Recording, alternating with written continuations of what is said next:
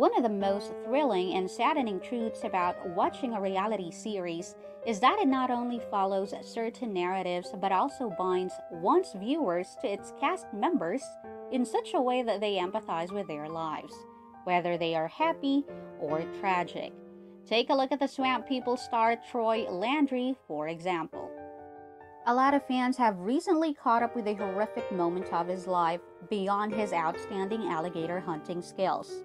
To shed light, we made Troy Landry our priority for today. We're going to talk about his married life, his net worth, and of course, his tragic life. Is that true?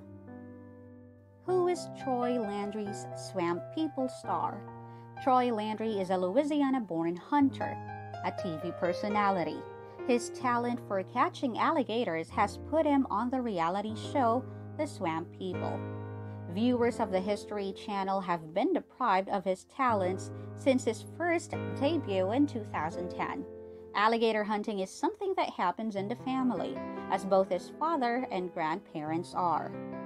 Net worth Do you know how wealthy Troy Landry is? His professional efforts must have made him a millionaire. What's your assumption?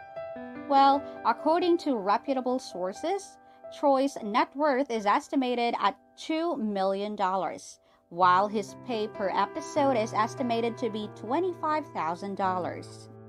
Landry is indeed a family man, so it's safe to say that everything he does, he does for his family, as the same goes with his risky demeanors near Atchafalaya River among alligators. In terms of paying his bills, Swamp People is doing a great job. Married life. Who is Swamp People star married to? This reality TV star is a married family man who has two sons. The sons of Troy Landry are Jacob Landry and Chase Landry. His sons are also Louisiana alligator hunters, and several episodes of them have appeared in history's Swamp People.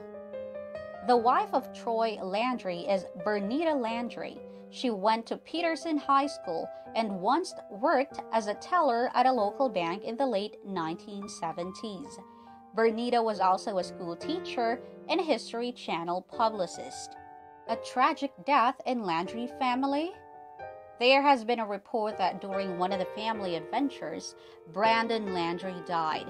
But that was not the case. It was just a huge misunderstanding, as there was an obituary of the same name and the man was also born in Louisiana. Luckily, it's not about Bernita and Troy's Brandon.